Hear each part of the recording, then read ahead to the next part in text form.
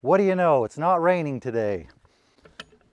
Slight chance of a shower, a passing shower this morning, but I don't think that's even going to happen. I think it's going to be dry all day. The question is, will we see the sun? I think it's questionable. We got three and a half inches over the last few days, inches of rain that is, which is not too shabby. It has slowed down production here, but we need rain more than I need to be productive. So we'll take it. But we still need a lot more to end this drought. It's been going on for years. We have a couple good sized Douglas fir logs here and then two small ones. These ones look like they are really good logs on the outside, but if you look close, they have some problems. There's a crack in the middle. Right here we have a pitchy spot. I don't know if that's just a pitch pocket or if that's ring shake that's gotten all pitched up. That's on the butt end. On the top end we have the same crack, only a little smaller. And we have something funky going on over here. It's about the same spot on the other side. The goal here is going to be to try to isolate the defect to as few boards as possible. Here's another reason why I prefer to quit logging when the weather gets wet. I would prefer not to have my logs being drugged through the mud and covered in mud like this.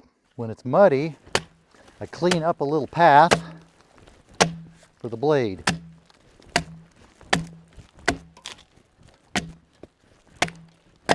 Not only is mud hard on the blade, but you get mud all over the rails, which then gets on the lumber. It's just an all-around good time of the year to not be logging. These logs came from, I'll show you where they came from.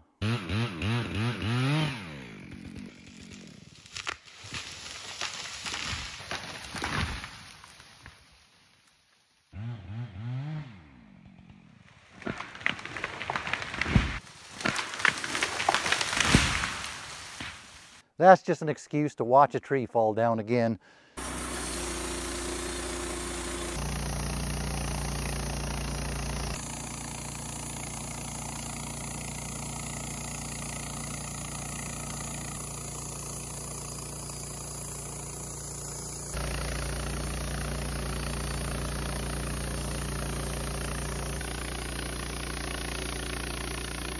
Here's one of the flat-headed fir borers that is killing the tree. Couple that got smashed by the axe. If we would have left this tree out in the woods, these would have matured into flying insects that would then fly in the spring, go lay eggs to make more of these larvae that will kill more trees. But we're going to put a stop to these and the hundreds of other ones in this tree, if not more than hundreds. Every one of these in this tree are now doomed.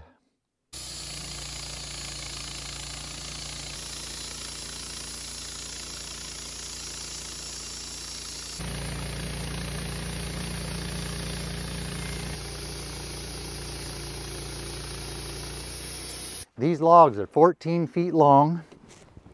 I need some 14 footers because I think I finally figured out the size, the dimensions of the cabin.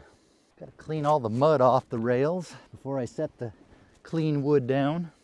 Right now I'm thinking 16 by 14 to keep it under 200 square feet. It's not that I want it to be that size. The reason to keep it under 200 square feet is, I don't know if any of you have ever noticed, but government people can be really annoying sometimes. It's like they haven't learned simple, common manners that most of us have no problem with, like minding their own business. I think most of us have figured out how to do that, but I don't know what it is with them.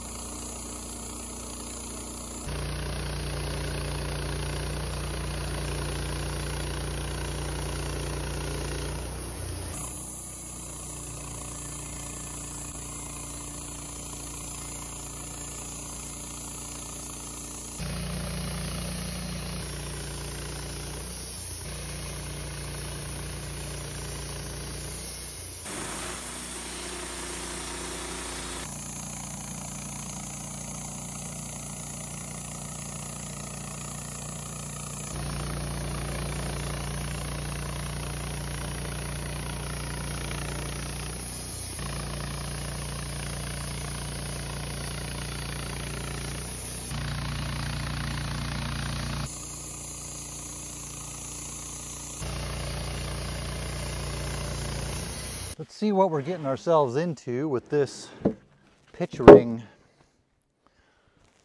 That one looks good. This is the one that's getting into the pitch ring. Ooh. That one's a bit of a mess.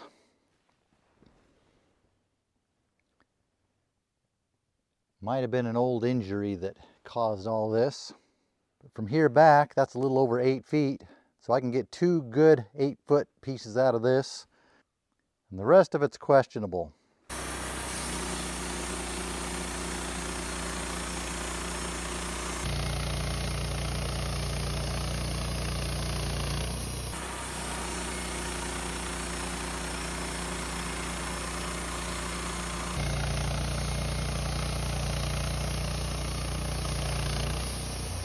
Now to see what these cracks look like.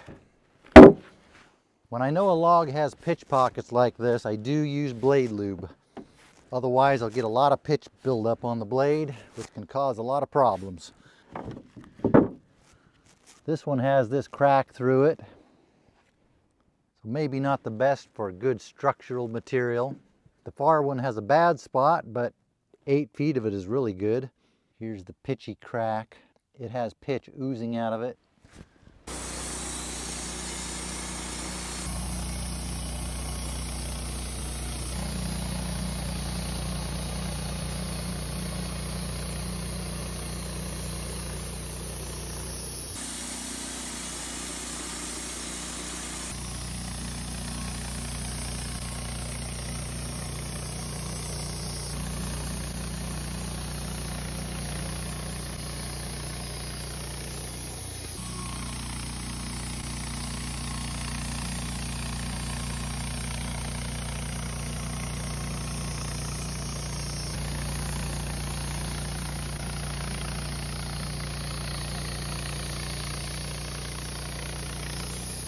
We are going to see the sun today, poking through the clouds.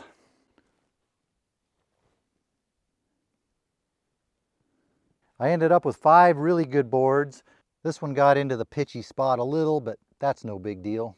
Two of them that are really pitchy on this end, but I can get two really good eight footers out of the other side. Then these two, I was able to isolate this crack to this one board and a little bit into this one by if I would have had this cant oriented 90 degrees the other way or even at an angle and made my boards this way, cutting them like this, then every board would have had that crack in it.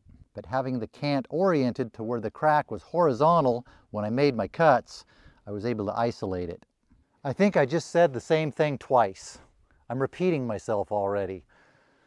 Well, now to put the bigger one on here and see if we can do the same thing, except I got this lumber piled on it. I have a little bit of a gridlock problem in this spot.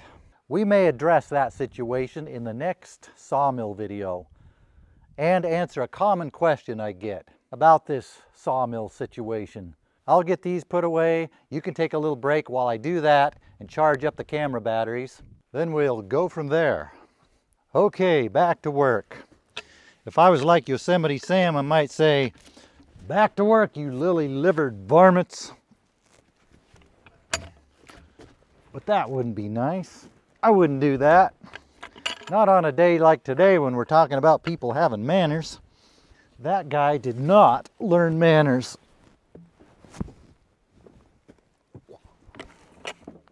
Maybe he should have went to work at, well, never mind. I won't say the planning department. That wouldn't be nice. Speaking of rude, this log has problems. If we look at the top end, the crack is horizontal, mostly horizontal. There's the pitch ring, but I think we're getting close to the end of the pitch ring. I think it goes more toward the top of the tree. Then when we go to the butt end, the biggest crack here is almost 90 degrees to the one on the other end. And there's this little crack pitch pocket here. So my strategy on this one is going to be start milling and hope for the best. That's all the wisdom I have to offer on this one.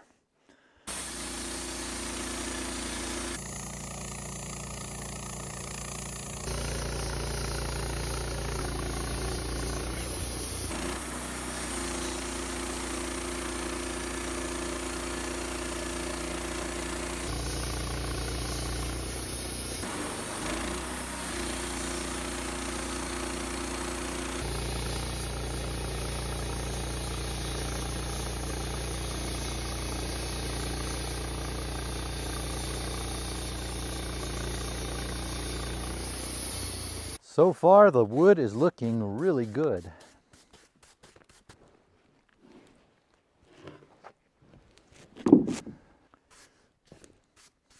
Ooh, I really hit dirt. Really bad. That is what we don't want to do. I didn't make my clean path through the log low enough. In the blade sharpening video I did a while back, I said, I have enough blades to last me for a long time. Not if I keep doing things like that. We're just starting to get into this crack, but it doesn't look like much of a crack on this end.